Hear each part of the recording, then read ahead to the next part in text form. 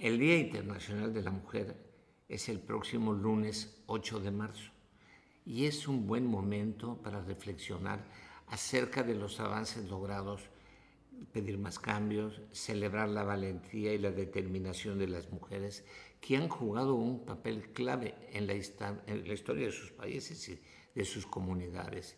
Escuchemos la opinión de algunas de ellas. Sí, sí he vivido desigualdad. Sí es muy desagradable y no creo que en este 2021 tengamos que seguir viviendo estas desgracias. No puede ser que un mismo puesto de trabajo las mujeres sean más pagadas menos. No puede ser que en un puesto de trabajo una mujer tenga que recibir menos sueldo que un hombre.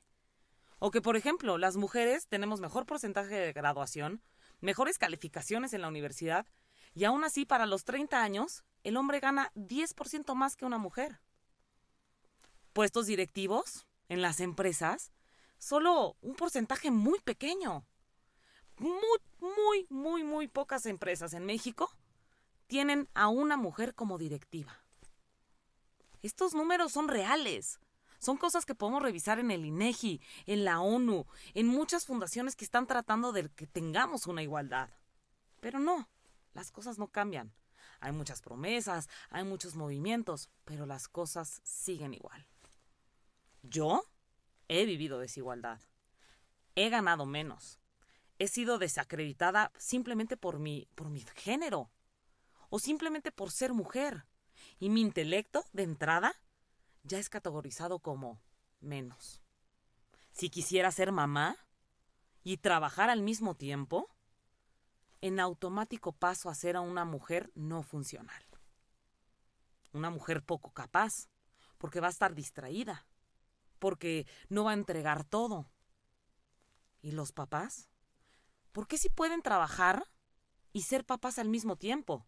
Y si un papá lleva a su hijo a la oficina, ay, qué lindo señor, wow, qué papá.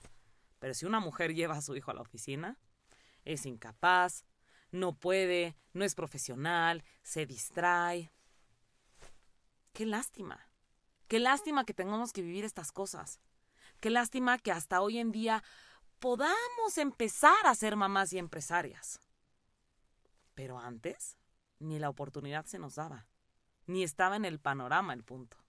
Ahora está en nuestras manos, como nuevos papás, como estamos a cargo de estas nuevas generaciones, de poderles inculcar, educar que hay igualdad y que las mujeres desde chiquitas sepan que pueden ser igual de fregonas que los hombres y que son hasta veces más inteligentes y que podemos ser exitosas.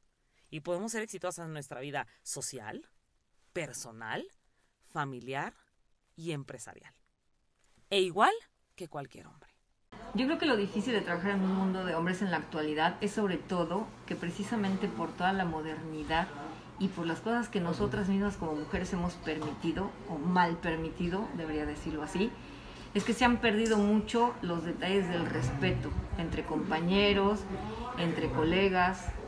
No solamente eh, hay esa lucha de poder, de que porque yo soy hombre tengo que hacer más cosas, porque yo soy hombre tengo que ganar mejor, o porque yo soy hombre no voy a dejar que una mujer sea mi jefa, sino el simple respeto de abrir la puerta, eh, brindarle un espacio a la mujer como antes, eso se ha perdido mucho.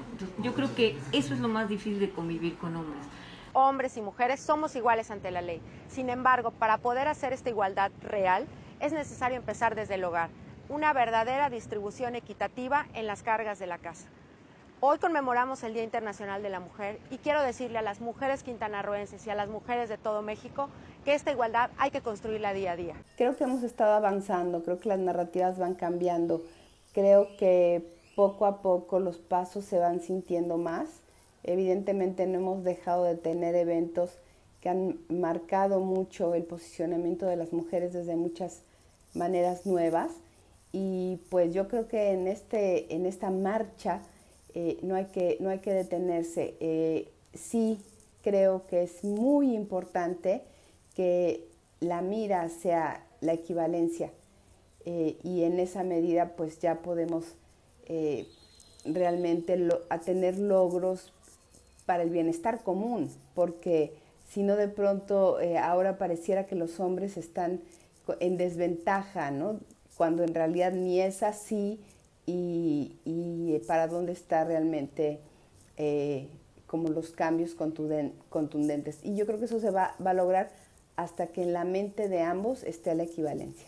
Gracias, muchas gracias por acompañarnos en una emisión más de Noticias Infragantes. No olvidemos que en esta pandemia debemos ser solidarios y procurar en la medida que podamos apoyar a los que nos rodean. Sigamos usando correctamente el cubrebocas, correctamente, y seguir todos los protocolos de salud. Nos vemos en la próxima entrega de este su programa Noticias Infragantes. Les pido un favor, hagan lo imposible para pasar a mejor vida en vida. Después no tienen caso. Usen el cubrebocas, por favor. y que Dios les bendiga.